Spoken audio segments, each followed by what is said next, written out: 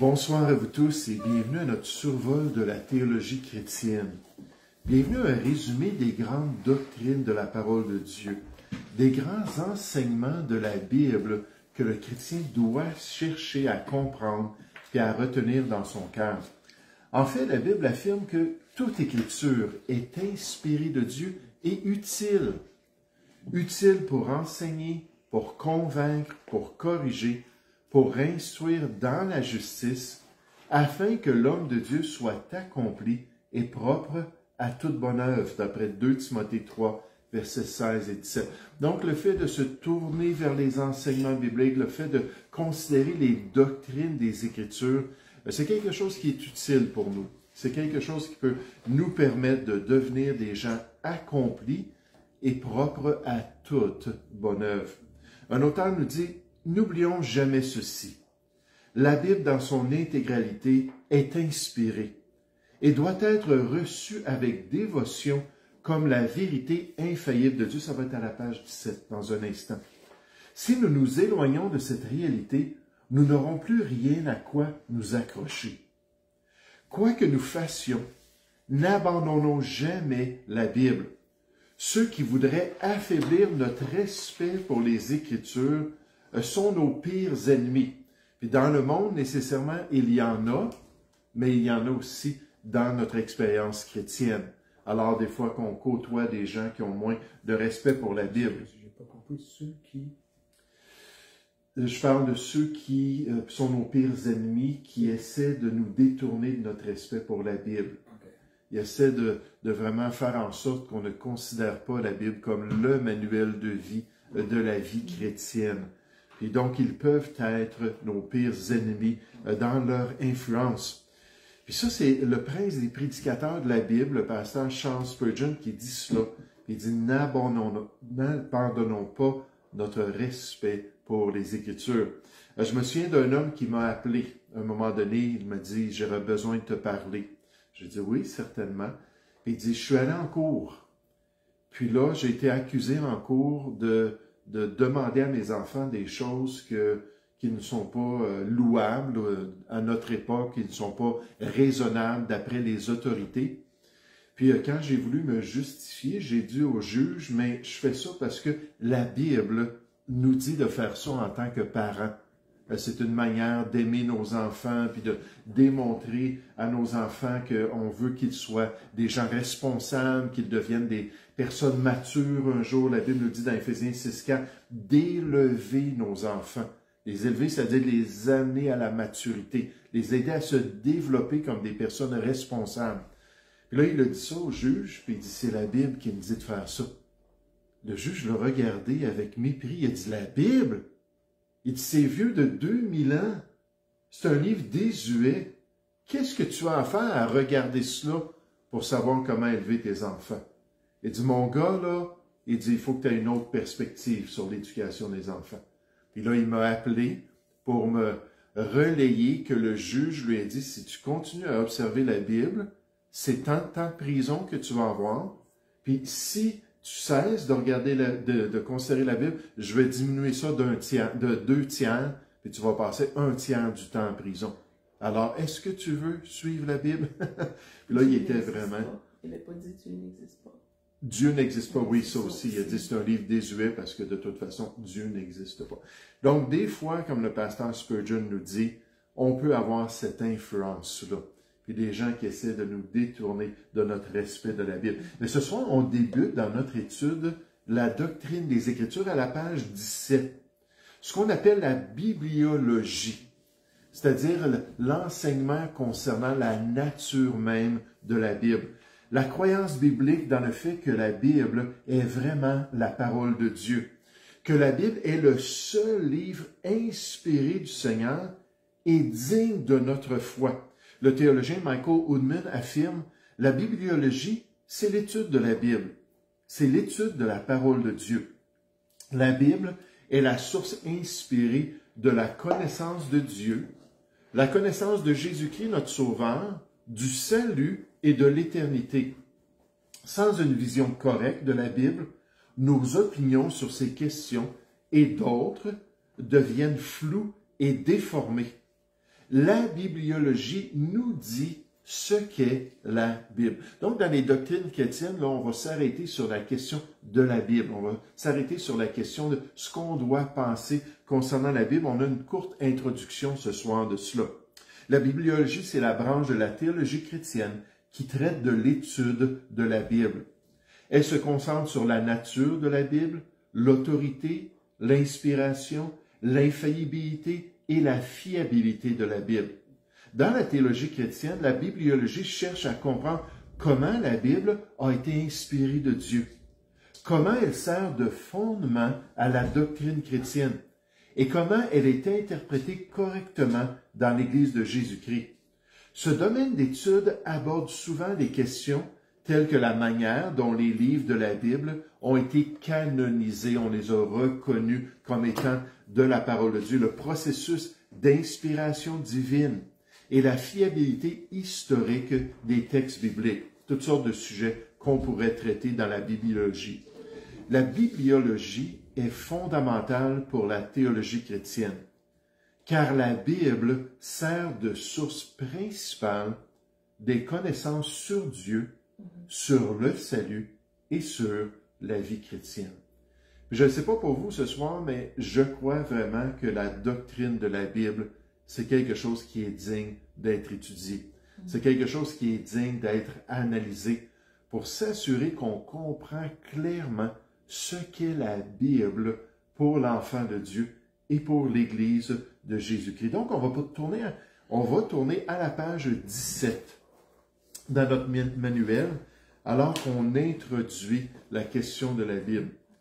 Et vous savez, alors qu'on va regarder cela, nécessairement j'essaie puis je m'efforce de, de simplifier ce qui se trouve ici dans notre manuel. Parce que c'est plus complexe, c'est plus difficile à suivre. J'essaie de trouver des illustrations, tout ça. Mais je disais à mon épouse ce soir, avant de s'en venir, je dis, c'est pas toujours évident. Hmm. Parce qu'il y a des sections qui sont plus pratiques, puis il y a des sections qui sont plus théoriques. Hein, qui sont plus là, des choses qui me font réfléchir, mais sans, sans qu'il y ait vraiment un aspect qu'on peut euh, mettre en pratique dans notre vie. Mais quand même, je pense que c'est important qu'on comprenne ça, cette introduction-là. Donc, c'est le chiffre numéro 5. Les Écritures, l'ensemble de la révélation divine. Nous commençons maintenant la section qui traite de la bibliologie. Vous avez remarqué, il manque un peu des mots ici et là. Euh, moi, j'ai traduit ça d'un manuel en anglais. Puis là, j'ai essayé de tout relire pour m'assurer qu'il manque rien. Mais là, ce soir, alors que je regardais, je n'étais pas là pour éditer le texte, mais alors que je le révisais, je me disais, ah, il manque un 2. Puis il manque un autre 2 ici. Puis il manque... Donc, il faut juste s'adapter avec une traduction. Nous commençons maintenant la section qui traite de la bibliologie, c'est-à-dire de la connaissance du livre biblios, biblos, pardon, en grec, ça veut dire livre, puis logos, ça veut dire connaissance. Donc, bibliologie, c'est la connaissance, avoir plus une compréhension de la Bible. Pour les croyants qui portent le nom de baptiste, la doctrine des saintes lettres devrait être primordiale, car au travers les siècles, les baptistes ont été connus comme le peuple du livre. Juste en passant, c'est pas le seul groupe chrétien qui ont été connus comme le peuple du livre, mais c'est le premier qui a été identifié comme le peuple attaché au livre. Puis là, j'ai lu ça comme introduction, j'ai dit, ah, il faut que je saisisse l'occasion. Euh, je veux mettre quelque chose au clair ce soir avec vous, puis avec ceux qui nous écoutent nécessairement. Euh, que pour moi, je suis fier d'être un baptiste. Nécessairement, je suis fier d'être un chrétien, un enfant de Dieu avant tout mais je suis fier d'être un baptiste et je vais vous expliquer pourquoi. Lorsque j'ai enseigné au Saguenay une série sur l'histoire de la dénomination baptiste, je n'ai pas cessé de dire, tout à travers la série, je pense que ça durait 20 leçons, j'ai pas cessé de dire, je suis fier d'être baptiste. Je suis fier d'être baptiste. Puis là, à travers les leçons, je montrais des exemples pourquoi? Qu'est-ce qui a distingué les baptistes? Qu'est-ce qui a fait que les baptistes étaient attachés à la saine doctrine puis vivaient selon les Écritures? Et une des raisons, c'était que les baptistes ont toujours dit l'autorité finale, c'est la Bible. Euh, c'est pas les décrets, c'est pas les, les, euh, les, les, croyances, les credos, les différentes choses qui, qui auront été faites, les constitutions, puis ainsi de suite. Ce qui est autoritaire, c'est la Bible. Puis nécessairement en disant ça, je suis conscient qu'il y a beaucoup de gens qui ont des réticences de nos jours avec cette question-là des dénominations. Les dénominations dans l'Église chrétienne. Ils vont dire, par exemple, à quoi bon de dire, ben moi je suis un baptiste, ou moi je suis un pentecôtiste, ou moi je suis un frère chrétien. À quoi bon de s'identifier comme cela? Les dénominations sont tout simplement inutiles, on va nous dire, et ne devraient pas exister dans l'Église chrétienne. L'Église de Jésus-Christ devrait être unie et ne pas avoir de telles divisions artificielles comme des dénominations qui la divisent plutôt que qu'elle ne l'unit. Et pour moi, je suis tellement fier d'avoir connu le Seigneur dans une église baptiste. Je suis fier que cette église-là était attachée au livre, que c'était une église qui nous encourageait fortement à une connaissance de la saine doctrine et de tout le conseil de Dieu. Et on nous disait, il faut plonger les regards dans la loi parfaite, la loi de la liberté. Il faut examiner ce qui est agréable au Seigneur. Maintenant, le fait qu'une personne est dans une dénomination comme les baptistes, ça ne garantit pas du tout le salut. Mm-hmm. Ça ne garantit pas que la personne est sauvée. Il n'y a pas dans la Bible cette idée-là que hors de cette dénomination, si vous n'êtes pas des baptistes, il n'y a point de salut. Pas du tout. Ça ne garantit pas cela. Si une personne est sauvée, sa dénomination ne garantit pas sa sanctification. Ne garantit pas qu'elle va marcher adéquatement dans le Seigneur. Mais, malgré ces réalités-là, pour moi, une bonne dénomination qui est fidèle à la parole de Dieu va offrir les outils qui sont nécessaires, les outils spirituels qui vont permettre à un chrétien de développer les bonnes valeurs chrétiennes, euh, les bonnes croyances bibliques et les bonnes convictions qui vont l'aider à se préparer pour le tribunal de Christ. Alors pour moi, je suis reconnaissant à travers l'histoire que les baptistes ont dit qu'il fallait être des étudiants de la parole de Dieu. Les baptistes ont dit qu'il fallait mettre en pratique les Écritures. Et dans l'histoire, ils ont encouragé les gens à marcher correctement dans les voies du Seigneur. Donc, on sait que ça ne sauve pas une personne d'être baptiste. Ça ne garantit pas que la personne va vivre correctement devant le Seigneur, qui va se tenir au tribunal de Christ sans reproche de la part de Dieu. Mais j'aimerais vous dire, si c'est une dénomination baptiste qui est fidèle à la parole de Dieu, au moins, ça va fournir tous les outils que les chrétiens vont avoir besoin pour accomplir la volonté de Dieu. Jésus a dit dans Jean 8, 32, Si vous demeurez dans ma parole, vous êtes vraiment mes disciples. Vous connaîtrez la vérité et la vérité vous affranchira. Donc, comme introduction, il dit la bibliologie, c'est important.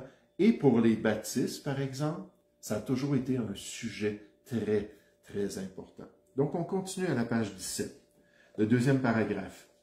Ayant déjà démontré que Dieu s'est révélé lui-même, nous voulons maintenant nous demander si cette révélation fut mise par écrit d'une manière surnaturelle, appelée l'inspiration. Les vrais chrétiens ont toujours maintenu que cette révélation est retrouvée dans les Écritures et qu'elles sont ainsi la source et l'autorité finale de la théologie. Donc, dans les Écritures, nécessairement dans la Bible, qui est le manuel de vie de l'Église de Jésus-Christ. Donc, les chrétiens ont toujours accepté dans l'histoire que c'était le cas. Nous allons commencer cette série de la bibliologie en donnant des arguments qui appuient cette position. Qui appuient quoi? Que la Bible, c'est vraiment la parole de Dieu.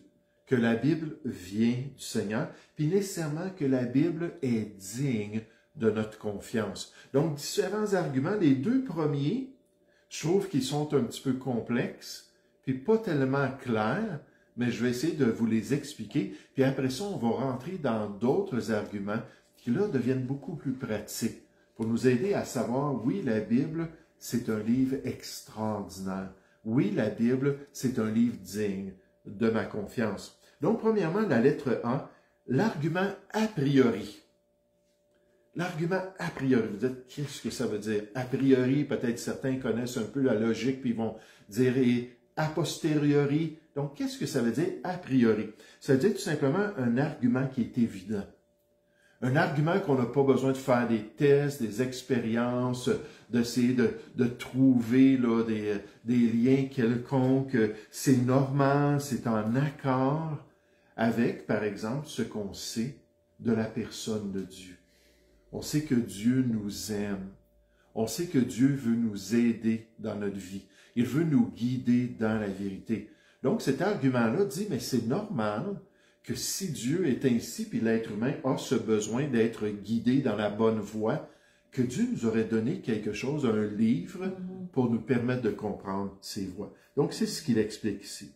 Cet argument précise que puisque l'homme est ce qu'il est, et de même Dieu étant ce qu'il est, nous pouvons nous attendre qu'il inspirerait son message pour combler les besoins de l'homme, et que ce message étant disponible soit ainsi la source infaillible de notre théologie. Donc, l'inspiration de la Bible s'harmonise avec les désirs que Dieu aurait pour l'être humain, pour lui permettre de connaître la vérité. Là, on nous cite un verset, le Proverbe 22, verset 19. Ça dit, je veux t'instruire aujourd'hui. Oui, toi. N'ai-je pas déjà pour toi mis par écrit? Juste en passant, quand on parle de l'inspiration de la Bible, ça veut dire cet aspect-là d'être mis par écrit. Le Saint-Esprit qui pousse une personne, un prophète, un apôtre, tout ça, à écrire le message de Dieu. La révélation, c'est quand Dieu le révélait à un de ses prophètes, à un des, des, disciples du Seigneur. Puis là, quand il l'a poussé à aller l'écrire, là, c'est l'inspiration. Donc, il dit, j'ai fait ça pour toi. J'ai mis par écrit des conseils et des réflexions pour t'enseigner des choses sûres, des paroles vraies. Puis donc, c'est en harmonie avec ce désir-là que Dieu a de nous donner un livre pour nous permettre de connaître sa volonté. Cette semaine, j'avais écrit un petit article sur les dernières paroles des gens. Puis là, il y avait deux exemples. Il y avait D.L. Moody, qui est un, pasteur, euh, juste à la fin de sa vie, avant de décéder, il a dit, le temps de, de mon couronnement arrive, c'est la gloire, je m'en vais enfin devant mon Sauveur. Puis là, il y avait Mahatma Gandhi, cet hindou puis indien bien connu euh, pour euh, ses efforts de faire euh, finalement, de, de permettre l'indépendance pacifique de l'Inde. Ça s'est produit en 1947, avant qu'il se fasse assassiner en 1948, en janvier 48. Mais Mahatma Gandhi était connu comme un homme pieux. Il était connu comme un homme très particulier là, dans son désir pour le peuple euh, indien, puis euh, tout ce qu'il a essayé de faire pour sa nation, puis ainsi. Puis il était vu comme une grande âme. Mahatma, c'est-à-dire la grande âme. Donc une grande personne, une personne particulière. Mais c'était un homme religieux. Puis malgré qu'il a côtoyé des chrétiens dès sa jeunesse à cause de circonstances, puis plus tard, quand je pense qu'il était à l'université, il a connu des chrétiens, puis il a été déçu. Puis finalement, il a dit dans un de ses écrits, je pensais vraiment que le christianisme, c'était la vraie religion. Mais avec sa déception, il s'est détourné de finalement ces gens-là. Puis à la fin de sa vie, puis là, je ne l'ai pas pris en note ce qu'il a dit exactement, mais il a dit, je ne vois que des ténèbres. Oh, si seulement je pouvais avoir de la lumière. Puis je vais prier avant de mourir, avant de quitter ce monde, d'être éclairé. Puis tout à travers sa vie, Mahatma Gandhi a fermé son cœur à la vérité de Dieu. Mais Dieu avait un message pour lui. Dieu avait quelque chose pour lui permettre de, saisir sa volonté dans la parole de Dieu qu'il n'a pas voulu voir. Ici, à côté de Proverbe 22, on nous dit Romains 3, 1 et 2. Puis dans Romains 3, 1 et 2, on ne dira pas ce soir, euh, c'est l'apôtre Paul qui dit mais Israël a été vraiment euh, un échec en tant que peuple. Ils n'ont pas suivi le Seigneur. Puis il dit, à quoi bon le peuple juif? Puis il dit, ben, il y a une chose que Dieu a faite avec ce peuple-là qui est remarquable, c'est qu'il a donné les oracles de Dieu. L'Ancien Testament a été mis par écrit par le peuple juif, par les prophètes de Dieu, et conservé Il a été gardé malgré toutes les captivités, tous les problèmes qu'ils ont eus. Ils se sont assurés de garder ce témoignage-là. Puis Paul dit dans Romains 3.2, il dit, si on peut dire une chose au sujet d'Israël, c'est qu'ils nous ont permis d'avoir les Écritures, les oracles de Dieu, c'est-à-dire les paroles de Dieu. Il dit la même chose ici dans Jude, chapitre 1, verset 3, l'autre verset que cet auteur cite. Et dans ce passage-là, c'est Jude qui est poussé par l'Esprit de Dieu pour donner des instructions à une Église qui avait été infiltrée par de faux frères.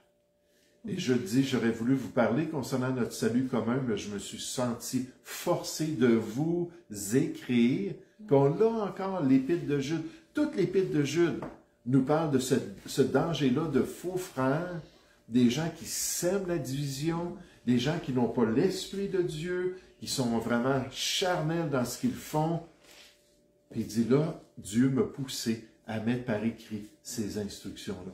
Encore une fois, pour nous aider à savoir quoi faire dans les circonstances de notre vie. Le dernier paragraphe. L'homme étant dans un état de séparation et d'aveuglement envers Dieu, il a besoin d'une révélation écrite et fiable qui va s'ajouter à la révélation générale, on l'a déjà vu, de la nature, de l'histoire et de la conscience. Donc une révélation qui va être plus précise. Plus le fait de voir dans la nature les animaux, de voir dans la nature les récoltes, de voir dans la nature la provision de Dieu, puis beaucoup de choses qu'on peut voir qui nous aident à comprendre qui Dieu est, comment est-ce qu'il est bon, comment est-ce qu'il nous aime. Mais de regarder la nature, ça sauve personne. Je sais que des fois, il y a des gens qui essaient de trouver dans les constellations le message de l'Évangile, puis dans différents phénomènes de la nature, mais c'est très, euh, c'est très difficile à croire, leur, interprétation de ces phénomènes-là. Mais ce qui n'est pas difficile à croire, c'est que Dieu nous a donné une révélation spécifique parce qu'il aime l'être humain, puis il veut guider l'être humain. Cette initiative pour la révélation ne vient pas de l'homme, car c'est Dieu qui désire réconcilier l'humanité avec lui-même, l'instruire dans la vérité. Il a donc pourvu dans son amour une révélation écrite pour guider l'homme dans la bonne voie. J'aime beaucoup le psaume 25. Au verset 8, on nous dit, L'Éternel est bon et droit.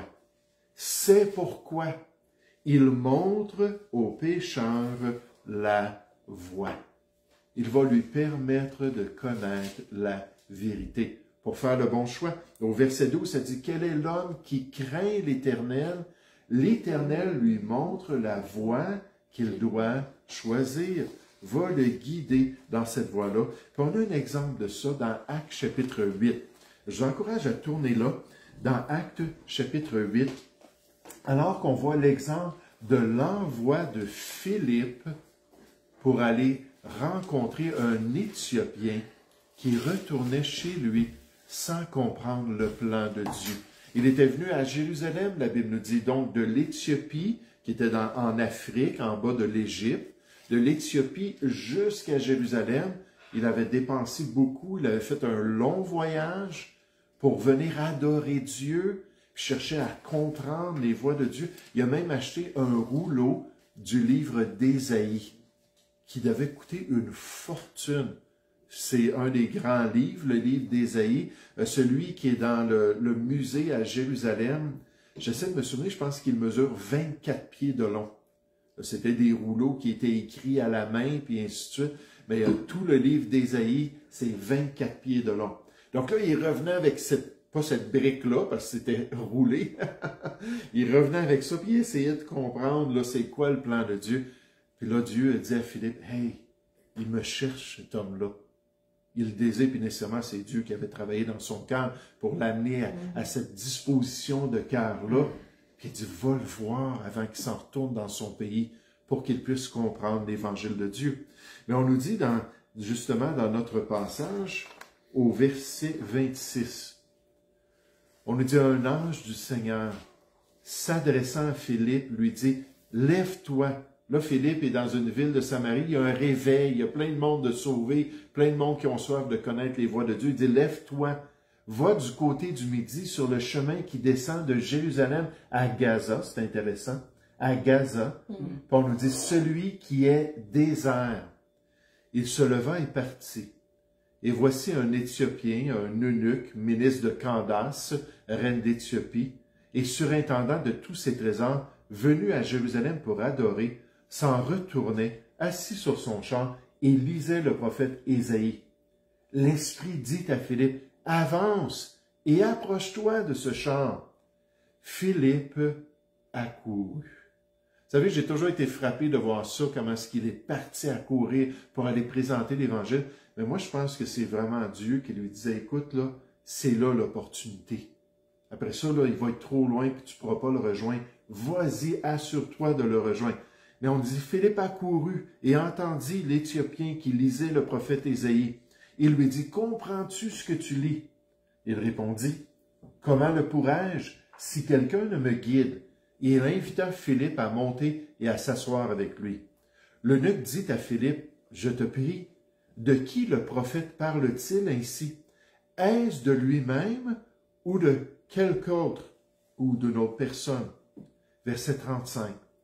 Alors Philippe, ouvrant la bouche et commençant par ce passage, lui annonça la bonne nouvelle de Jésus. Mais il faut comprendre que c'est un ange, un messager de Dieu qui lui a dit à Philippe, après ça, c'est l'Esprit de Dieu. C'était évident que le Seigneur voulait que l'Éthiopien comprenne ses voix, qu'il saisisse son message. C'est pas étonnant que la Bible nous dit, allez par tout le monde et prêchez la bonne nouvelle à toute la création. Dieu nous envoie auprès de tous pour qu'on puisse partager cette bonne nouvelle. La page 18. On continue avec 2 Pierre. Un autre verset qui nous rappelle pourquoi la Bible a été mise par écrit. Dans 2 Pierre chapitre 1 au verset 21 en haut de la page. On nous dit car ce n'est pas une volonté d'homme, par une volonté d'homme, pardon, qu'une prophétie a jamais été apportée. Puis l'aspect prophétique, c'est un élément de la révélation qui aide l'être humain à connaître la volonté de Dieu. Et ce n'est pas par une volonté d'homme qu'une prophétie a jamais été apportée, mais c'est poussé par le Saint-Esprit que des hommes ont parlé de la part de Dieu. Quand l'Esprit est venu pousser l'inspiration biblique pour que les gens mettent les 66 livres de la Bible par écrit, la Bible dit c'était de la part de Dieu, c'était la volonté de Dieu, c'était le désir de Dieu pour l'être humain. Regardez avec moi dans Jean 16 au verset 12, alors que Jésus parle de son Église et des apôtres qui devraient mettre par écrit le Nouveau Testament. Dans Jean 16, pardon, au verset 12. Jean 16, au verset 12. Jésus dit, j'ai encore beaucoup de choses à vous dire, mais vous ne pouvez pas les porter maintenant. Quand le consolateur sera venu, l'esprit de vérité qui a inspiré quoi exactement? La parole de Dieu, la Bible. Il dit l'esprit de vérité, il vous conduira dans toute la vérité. Donc, il va venir pour vous donner les détails du plan de Dieu, pour vous révéler la volonté de Dieu, car il ne parlera pas de lui-même, mais il dira tout ce qu'il aura entendu, et il vous annoncera les choses à venir. Et c'est pour ça que dans 2 Timothée 3,16, on nous dit que toute écriture est inspirée de Dieu, soufflée même de la personne de Dieu, utile pour nous enseigner, nous convaincre, nous corriger, nous instruire dans la justice, afin que l'objectif, c'est que l'homme de Dieu soit accompli et qu'il soit propre à toute bonne œuvre. Donc cet argument-là qui nous montre le plan de Dieu, qui décrit cette logique-là, ce sens normal-là, que si Dieu nous aime, puis qu'il voit que nous sommes dans les ténèbres sans sa révélation, qu'il allait nous donner un livre pour nous guider dans ses voies. Effectivement, c'est ce que la Bible nous révèle concernant la personne de Dieu. Regardez ensuite la lettre B. Et après ça, à partir de la lettre C, ça va devenir un petit peu plus clair. La lettre B, l'argument tiré de l'analogie. l'argument tiré de l'analogie, on parle de relations humaines. Une analogie, c'est une comparaison avec quelque chose d'autre. Donc là, on parle de la Bible, on parle que c'est le, livre que Dieu nous a donné. Puis là, cet auteur-là va parler de deux analogies dans les relations humaines. Les relations avec Dieu, c'est une chose, la relation humaine, c'est une autre chose. La première chose qu'il va dire, c'est le besoin de communication. Le besoin de communication entre les êtres humains pour avoir de bonnes relations. On nous dit que dans le couple chrétien, le problème, d'après des sondages qui ont été faits aux États-Unis sur ceux qui se disaient chrétiens évangéliques, et les plus graves problèmes dans les relations conjugales, on nous dit que le problème numéro un, c'est le manque de communication. Le manque de bonne communication. il dit à la lumière du besoin pour avoir de bonnes relations, d'avoir de la communication. Certainement, si Dieu veut avoir une relation avec nous, comme il nous le dit, il nous communiquerait sa pensée. En passant, quand on lit la Bible, on écoute Dieu. Puis on, est instruit par le Seigneur. Puis ensuite, quand on se tourne vers lui, mais là, le Seigneur nous écoute alors qu'on lui partage nos actions de grâce, nos louanges, puis, puis nos requêtes, puis ainsi de. Puis Dieu veut une communication à deux sens. Ce n'est pas un monologue où le chrétien peut-être va passer beaucoup de temps dans la prière, mais il ne lit jamais la parole de Dieu. Non, Dieu, c'est un dialogue. Moi, je te parle, toi, tu me parles, puis on va venir qu'à se comprendre. On va pouvoir marcher ensemble. Mm. Toutes les relations demandent de la communication. Nous vivons dans un monde de communication. Toutes les espèces vivantes démontrent cette interrelation, partant des animaux les plus simples à l'homme qui fut créé à l'image de Dieu. Il n'est donc pas difficile de conclure par cette analogie, cette comparaison des relations humaines, que Dieu aussi veut se révéler d'une manière évidente, par le moyen divin de la révélation. En fait, n'est-ce pas la critique universelle des Écritures contre les idoles? Les idoles, ces statues-là, ces idoles-là qui sont faites de, marbre ou qui sont faites de, de, bois ou qui sont faites de métaux. Puis qu'est-ce qui arrive quand on vient communiquer avec une statue de Bouddha ou quand on vient se prosterner devant une statue de Marie? Je ne pas qu'on devrait faire ça, là, mais que les gens font ça. Euh, est-ce qu'il y a une interrelation? Est-ce qu'il y a une vraie communication?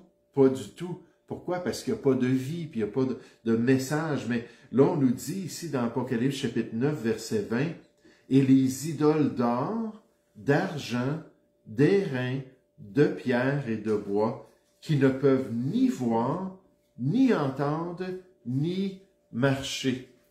En d'autres mots, il n'y a pas de vraie relation avec des idoles. Et dans les prophètes, souvent on va parler de cela, que l'idole est muette, que l'idole n'a pas de vie. Il faut la transporter lors du culte. On parle de Baal, d'Astarté, de Moloch, et ainsi de suite, parce qu'elle n'a pas de vie, elle n'est pas capable de, marcher par elle-même. Je me souviens quand les Philistins ont attrapé l'arche de l'Alliance.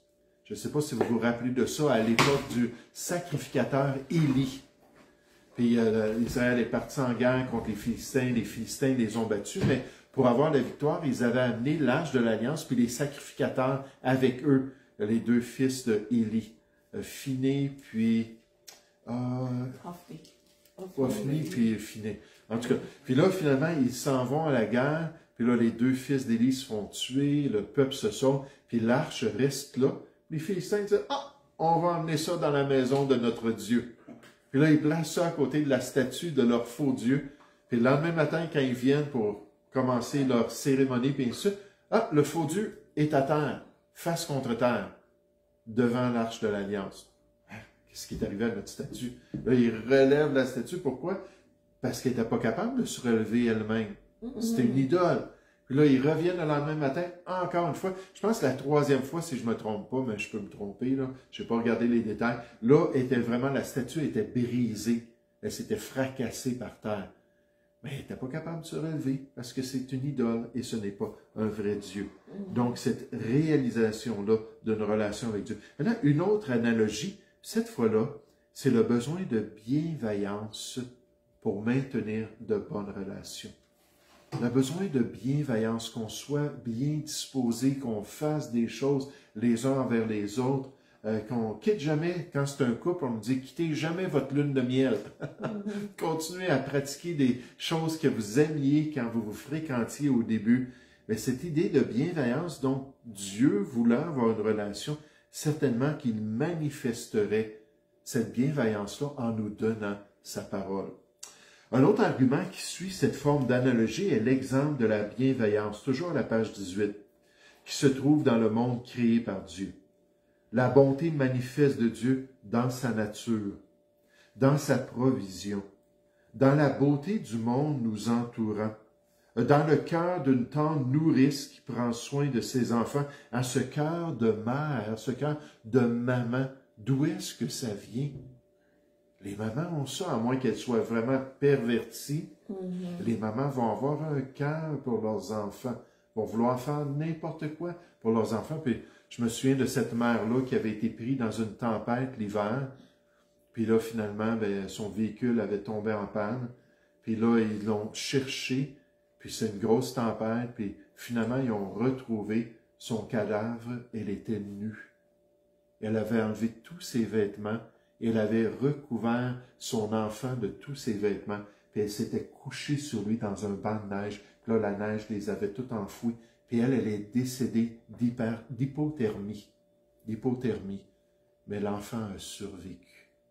Qu'est-ce qui pousserait une maman à faire un tel sacrifice? Mais encore une fois, on voit que c'est Dieu qui a mis cela dans le cœur d'une maman, euh, dans l'auto-guérison des corps humains, euh, des humains, donc le système immunitaire que Dieu nous a donné, dans sa beauté, bonté, pardon, Dieu désirerait aussi combler les besoins spirituels de ses créatures. On nous donne un exemple dans Acte chapitre 14. On nous dit, ce Dieu, dans les anges passés, a laissé toutes les nations suivre leur propre voie quoiqu'il n'ait cessé de rendre témoignage de ce qu'il est, en faisant du bien, en vous dispensant du ciel les pluies et les, saisons, les saisons fertiles, en vous donnant la nourriture avec abondance et en remplissant vos cœurs de joie.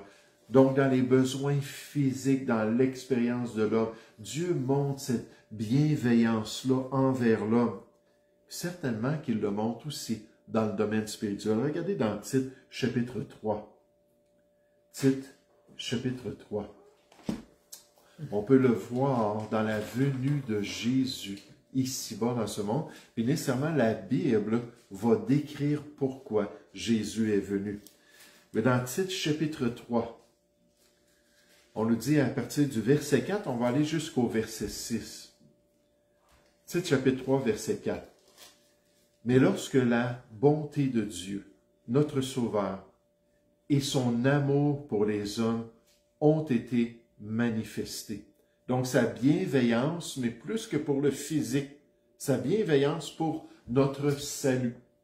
On nous dit, verset 5, Il nous a sauvés, non à cause des œuvres de justice que nous aurions faites, mais selon sa miséricorde avec le pardon qui vient de son cœur par le baptême de la régénération, cette nouvelle naissance-là, et le renouvellement du Saint-Esprit qu'il a répandu sur nous avec abondance par Jésus-Christ, notre Sauveur. Donc, avec ces analogies-là, on voit que Dieu aurait certainement donné un livre, donné le manuel pour nous guider, parce qu'il veut communiquer avec nous et qu'il veut être bienveillant envers nos besoins spirituels. On revient à la page 18, toujours, à la lettre C en bas. Là, je vois que notre temps, on a commencé un petit peu plus tard, notre temps est presque terminé. L'argument tiré de l'indestructibilité de la Bible. L'argument tiré de l'indestructibilité de la Bible. Et la Bible, c'est vraiment un livre spécial. C'est un livre qui est différent de la plupart des livres parce que c'est un livre qui est protégé, qui est gardé. Dieu a décidé de donner ce livre-là pour guider la race humaine. Puis il dit, la race humaine ne le détruira jamais. Jamais. Il y a eu beaucoup de tentatives pour le faire, on va voir ça. Très peu de livres survivent un quart de siècle, environ 25 ans. Un nombre plus restreint survivent un siècle. Seulement un faible pourcentage de ceux-ci survivent, puis là vous allez voir, 1000 ans, il manque un L puis un E. M-I-L-L-E, 1000 ans. À la lumière de ces faits, il est raisonnable de conclure que la Bible est unique. Moi, j'ai pris mon stylo et j'ai fait un X sur unique. Parce que la Bible, c'est pas le seul livre qui a plus que 1000 ans, euh, loin de là. Mais c'est un livre qui est exceptionnel. Un livre qui est remarquable. Même l'auteur a dit un faible pourcentage des livres qui ont été écrits surtout dans l'Antiquité. Des livres qui étaient écrits sur des parchemins qui étaient de la peau d'animaux. Des livres qui étaient écrits sur des papyrus qui étaient tout simplement des plantes qui étaient collées ensemble pour pouvoir faire un genre de, texte. En passant, ce sont les Chinois qui nous permettent aujourd'hui d'avoir des papiers. Au 13e siècle, les Chinois ont inventé le papier. Avant ça, c'était du matériel qui se désintégrait facilement. Donc, c'est quand même assez rare dans l'histoire qu'un livre a plus que mille ans, mais c'est pas seulement la Bible. Il suffit d'ajouter à cela le contexte dans lequel la Bible a été écrite. En plus des épreuves qu'elle a dû surmonter pour survivre, pour arriver à la conclusion que la Bible existe encore de nos jours à cause de l'intervention céleste, à cause de la protection de Dieu. Et c'est ce que Dieu nous révèle dans les Écritures, qu'il a dû mettre une protection sur ce livre-là qu'il voulait que l'être humain puisse avoir, qu'il puisse conserver, qu'il soit toujours disponible pour guider l'être humain. Même le célèbre infidèle Voltaire, le français, avait misé en 1878, il a écrit puis il a propagé cela, en pardon, 1778, sur la disparition de la Bible durant son époque. En fait, ce qu'il a dit, c'est dit, je donne 100 ans c'est ça j'ai dit 1878. Il dit, dans un siècle, il n'y aura plus aucune copie de la Bible sur la planète Terre. Les gens modernes vont s'être ouverts les yeux, vont avoir reconnu comment c'est absurde comme livre, puis vont se lever ensemble pour détruire la Bible, pour vraiment l'anéantir. Là, il a dit cela. Il est notoire que non seulement la Bible survécut à sa prédiction, mais que son presse-papier, ou on pourrait dire son imprimerie même, qu'il avait utilisé pour propager son incrédulité dans sa maison. Il avait une grosse maison. Il avait acheté tout l'équipement pour faire de, l'impression, puis de propager son incrédulité, son, son scepticisme envers la Bible et envers d'autres choses, mais fut ensuite utilisé 25 ans après sa mort pour imprimer la parole de Dieu. Mm-hmm. Quand sa maison a été mise en vente, il y a une société biblique qui a dit on veut cette maison-là. Puis si Dieu nous permet de l'acheter, on va l'acheter. Effectivement, ils l'ont acheté. Il y avait tout l'équipement, la presse à imprimer, bien sûr. Ils ont dit, on va tout changer les caractères, on va tout changer les choses. Puis on va commencer à imprimer la Bible en français pour répandre le message de Dieu. Donc Voltaire, ce sceptique-là, il dit, la Bible va disparaître. Puis Dieu a dit, non, mon pauvre, tu te trompes c'est toi qui vas disparaître. la doctrine de la préservation des saintes écritures est un bon argument pour son inspiration divine. Dans Marc 13, 31, Jésus dit, le ciel et la terre passeront, mais mes paroles ne passeront point. Dieu a dit, je vais conserver les Écritures. La Bible, c'est un livre durable et permanent. Regardez le passage qui est cité, 1 Pierre chapitre 1. 1 Pierre chapitre 1, les versets 23 à 25. Ça nous rappelle cette réalité-là. Vous allez voir dans un instant, on va parler de différentes influences humaines qui ont cherché à détruire la Bible. Puis encore aujourd'hui, qui veulent détruire la Bible, mais Dieu protège ce livre-là. Il est souverain sur la Bible. Dans 1 Pierre chapitre 1 au verset 23, on nous dit, puisque vous avez été régénérés, vous êtes nés de nouveau, non par une semence corruptible, mais par une semence incorruptible, par la parole vivante et permanente de Dieu, car toute chair est comme l'herbe. Ça, les prophètes le disaient dans l'Ancienne Alliance, ils utilisaient cette image-là de la nature. Toute chair est comme l'herbe et toute sa gloire, la gloire de l'être humain, comme la fleur de l'herbe. L'herbe sèche et la fleur tombe. Les choses de la vie cessent, mais la parole du Seigneur demeure éternellement. Et cette parole est celle qui vous a été annoncée par l'Évangile. 1 Pierre chapitre 1 verset 23 à 25. Dans l'Ancien Testament, Dieu avait dit, dans Proverbe 22, 12, que les yeux de l'Éternel gardent la science.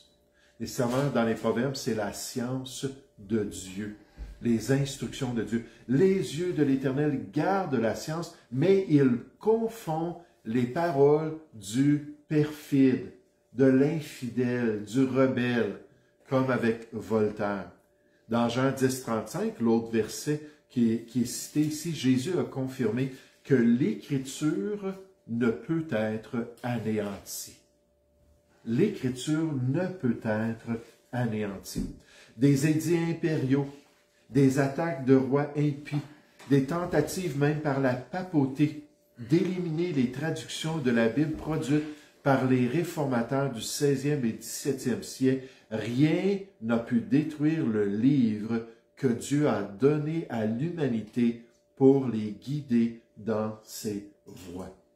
Et Dieu l'a protégé. Je termine avec euh, juste un commentaire d'un auteur. Puis on continuera la prochaine fois, je te l'emprunte, avec la lettre D. Juste pour pas que ce soit trop pesant à la fois. Aucun autre ouvrage de l'histoire n'a été autant attaqué. Sean, le docteur Sean, euh, euh, Sean McDowell nous dit, autant d'autres ouvrages de l'histoire n'ont été autant attaqués, scrutés et persécutés que les livres canoniques de la Bible, c'est-à-dire les, les, différents livres des Écritures. Des empereurs, des monarques, des dictateurs qui ont tenté de détruire les paroles de l'Écriture. Par exemple, les persécutions sous Dioclétien au IVe siècle.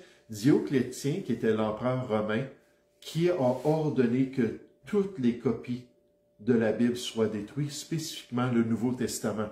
Puis à un moment donné, mais ben là, ces, ces euh, différents commandants sont venus le voir, puis ont dit, on a réussi. On a mhm. tout détruit. Puis là, il s'est fait faire une pièce d'argent avec son visage d'un côté, puis avec l'inscription, la religion chrétienne est détruite. Maintenant, le culte de nos dieux va être rétabli. C'est une pièce d'argent de célébration que la Bible avait tout été détruite. Mm. Là, les chrétiens ont dit, de quoi est-ce qu'ils parlent? C'était la période des copies du Nouveau Testament, alors qu'ils ont fait des milliers et des milliers de copies pour la préserver. Et on donne cet exemple-là ici. L'empereur Dioclétien, on peut penser à la Russie communiste qui a essayé de détruire la Bible russe, ou la Chine socialiste qui a essayé de pervertir les Écritures, aux tentatives intellectuelles de discréditer le contenu de la Bible. Par exemple, le rationaliste du 18e et 19e siècle qui a dit que la Bible, c'est un livre faux, le postmoderniste du 21e siècle qui essaie de nous détourner de la Bible. La Bible a résisté à toutes les formes d'opposition. Pourquoi? Parce que c'est la parole de Dieu même. Le docteur Sean McDowell et Dieu a protégé les Écritures. Donc, trois arguments qu'on a vus ce soir. A priori, il semble vraiment logique que Dieu considère l'être humain et ses besoins. Après ça, on a vu cet autre argument-là de, de l'analogie, avec deux analogies de comparaison des relations humaines, puis finalement l'indestructibilité de la Bible. Dieu a toujours protégé la Bible, et on l'a encore entre nos mains aujourd'hui. Puis on remercie le Seigneur pour ce livre-là qu'il nous a donné pour nous guider dans ses voies. Donc, on continue avec d'autres arguments encore plus pratiques concernant la parole de Dieu pour nous aider à voir, oups, la Bible, c'est vraiment un livre qui est digne de notre confiance. Et juste avant, on va prier ensemble. Père Céleste, je veux te remercier, je veux te louer pour euh, cette série dans la théologie chrétienne. Seigneur, euh, une série qui est un petit peu plus intellectuelle, un peu plus euh, difficile à suivre. Et Père, j'essaie de rendre ça le plus palpable possible, le plus compréhensif. Et je te prie, Père, que tu puisses nous donner de la hardiesse, de la détermination qu'on puisse continuer à étudier ces choses. Pas beaucoup d'informations dans une soirée nécessairement, on n'a que quelques minutes, mais assez pour nous montrer ce soir que la Bible vient de toi. C'est toi qui avais ce désir de te révéler. C'est toi qui avais ce désir de prendre soin de l'homme. C'est toi qui voulais communiquer avec l'humanité, qui voulait montrer ta bonté. Or, pourvoyant, Seigneur, à nos besoins spirituels, et que mis ton sceau de protection. Le ciel et la terre vont passer bien avant que la Bible passe. Et Père, on te remercie pour ce livre extraordinaire. On te prie, Seigneur, que tu puisses nous aider à le lire, à l'étudier, comme on a pensé tout à l'heure, à plonger nos regards, à examiner ce qui est agréable à notre Dieu et à nous aider à être attachés aux Écritures. Pour être des baptistes, pas nécessairement, mais pour être un peuple du livre, un peuple attaché à ta révélation. Seigneur, bénis-nous, nous te prions, alors qu'on veut le faire, au nom du Seigneur Jésus. Amen. Amen.